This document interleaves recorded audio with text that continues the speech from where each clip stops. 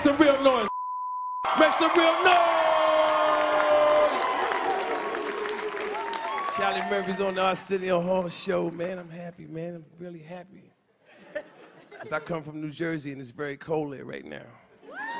It's nice and warm out here. I like it in, when it's warm, you know. Where I live at, it's really cold. I don't like the winter. The winter reminds me of some of my worst memories. like Hurricane Sandy. Remember Hurricane Sandy? Hurricane Sandy left me without power for five days. I was not prepared to not have power for five days.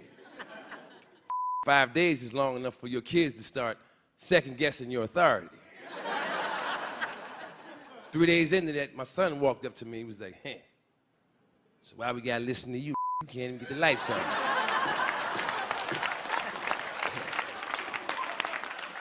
I was like, wow, this little boy got a point.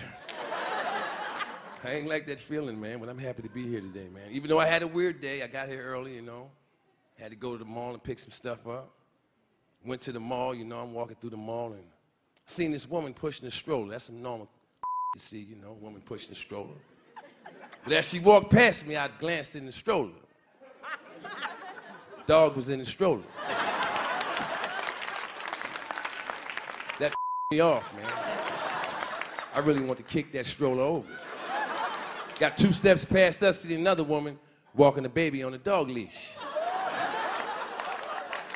What's going on out here, man? Struck me as strange, you know.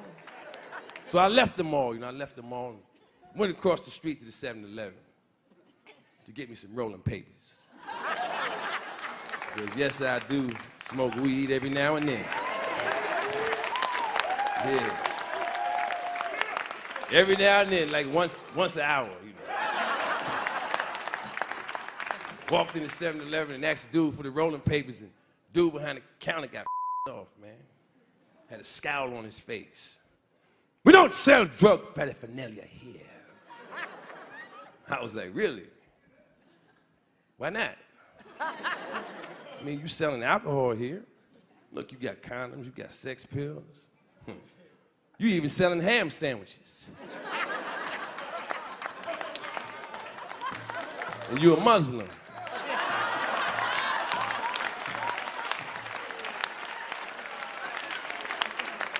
I don't think this is supposed to be happening right now, huh, Hassan. So I left the 7 Eleven, you know, went right across the street to the gas station, got me some rolling papers, went back to my room, rolled me a fat one up, you know.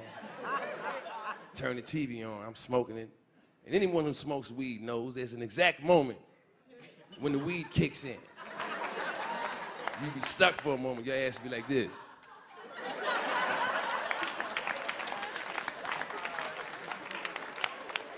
So I was in t- front of the TV stuck, you know, and this commercial came on with Shaquille O'Neal selling his car. The Buick LaCrosse. Built for comfort. And when he said, Built for comfort. it shook me out of my stuck state. I was like, wait a minute. Shaq can't fit no Buick LaCrosse.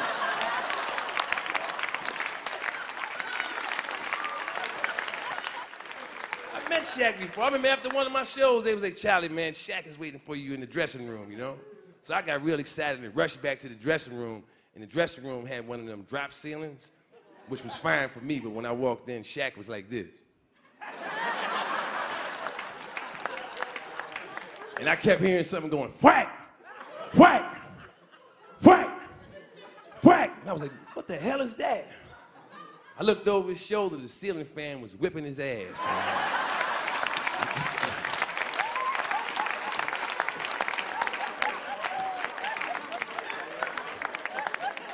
So right then and there, I knew that Shaq could not fit in no Buick LaCrosse. You know, they show Shaq come out the house, and they got two separate Buick LaCrosse. And he steps inside them, you know. And then the roller skates down the block. The Buick LaCrosse.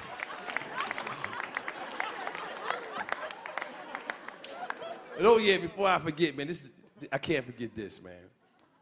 Paula Deen has been forgiven. I know you've seen it on the news. They forgave her, you know. And I remember the very first day when I heard that scandal break out, I was watching TV and the news came on. They said, Today, Paula Deen's entire Food Network empire, valued at $17 million a year, has come under jeopardy due to the fact that Paula's been caught using the N word, otherwise known as. I was in my living room. I was like, wow, 17 million a year for saying the word. That's messed up, man. I say the word about 200 times a day myself. so when they forgave her, you know, I, I, I kind of went along with it because I'm going to be honest with you. As a black man, I didn't get mad when Paula Deen said the word. I got mad about all the recipes she stole from.